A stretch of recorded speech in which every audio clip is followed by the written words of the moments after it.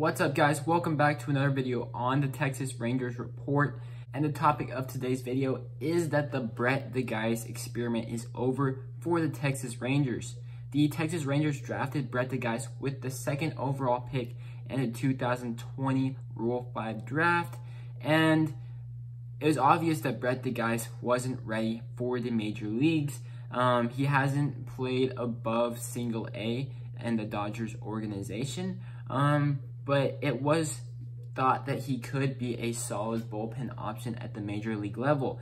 However, now that we have designated Brett De Geus for assignment, um, he's going through waivers, so another team could claim him, or um, if no team claims him, we have to offer him back to the Los Angeles Dodgers. Um, so we'll just see what happens. But yeah, he obviously wasn't ready. And it's kind of unfortunate to see because I thought he was going to be solid.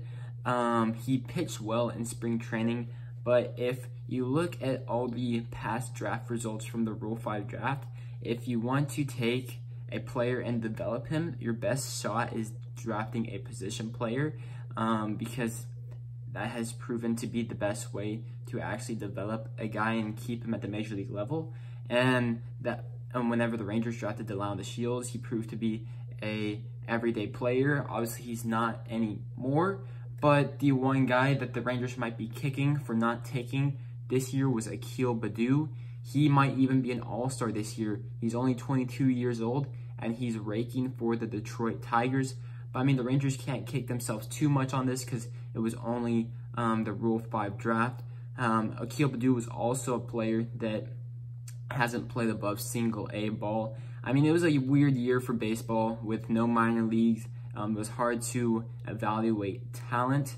Um, but could you imagine our outfield right now with Joey Gallo, Akil Baddoo, and um, Adolis Garcia, and even Eli White. He's been playing pretty well since he's been called up. And so since we designated uh, Brett De Geus for assignment, that cleared a 40-man spot, and that brought up Joe Barlow the hard-throwing right-handed pitcher. This guy has been um, unprotected from the Rule 5 draft for quite some time, and he's finally put on the 40-man roster. Um, uh, the big thing with him is that he has a, a, hard time finding the strike zone, but this year so far in AAA, um, he's put up great stats. He has a great ERA, a great whip, a great strikeout to walk ratio. So we'll see what he can do this year at the major league level. And I was just watching the, his first game because I'm posting this video a little bit later, and he looked dominant. Obviously, um, this was just his first game and his first appearance versus the Oakland Athletics bottom of the order, but he has some wipeout stuff. He has um, a good fastball, he has a slider, a curveball, and he just added that slider, and that might be an X factor pitch for him. So we'll just have to see how Barlow does. The Rangers also sent down DeMarcus Evans because he um, has had a hard time finding the strike zone. He's another guy um, that we have uh, high hopes for because we think that he can be a solid guy at the back of the bullpen whenever we are competing again. And so we brought up Wes Benjamin. Benjamin has been disappointing.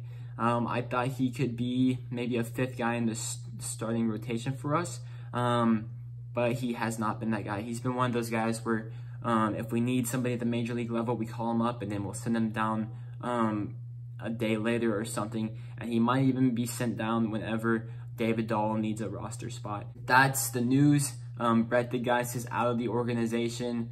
We'll see if another team claims him or if the Dodgers um, will just get him back. And taking Brett De Geus' 40-man spot, the Rangers purchased Joe Barlow's contract. And so he's in the major leagues now. And then DeMarcus Evans was sent down and Wes Benjamin got called up. So that is the news for the Texas Rangers. And another interesting news is that they're going to try John King out as a starter. I think that would be interesting.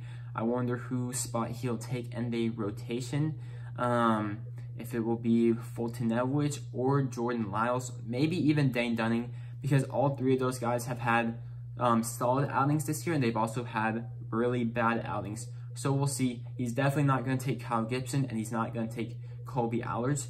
Or maybe they're planning ahead for the future when uh, after they trade Kyle Gibson because let's be honest, that's most likely going to happen. So that's all for today's video. Uh, thanks for staying to the very end. If you liked it, please give a, a thumbs up down below and subscribe to the channel because I'm your number one source for all things Rangers on YouTube.